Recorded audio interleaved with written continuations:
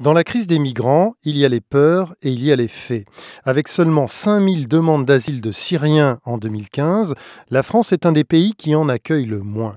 En Allemagne, on en comptabilisait pratiquement 100 000. En Hongrie, on est à 65 000. En Suède, on est à 40 000.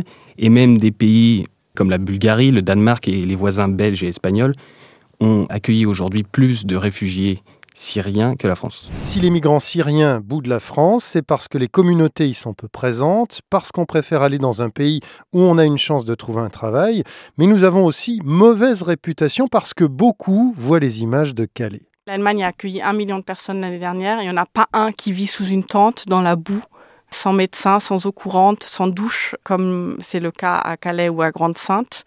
Ça va hyper vite sur les réseaux sociaux.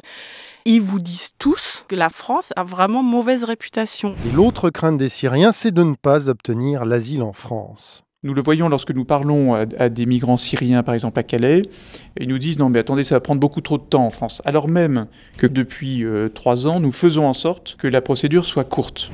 Tout ça pourrait cependant changer, car la tension palpable dans les pays jusqu'ici favorables aux migrants pourrait jouer. Ça va terriblement évoluer, je vais vous dire, parce que l'Allemagne est en train de freiner, le paradis allemand ou le paradis suédois commence à s'estomper. Donc il va y avoir un certain nombre de réfugiés qui vont se rediffuser autre part.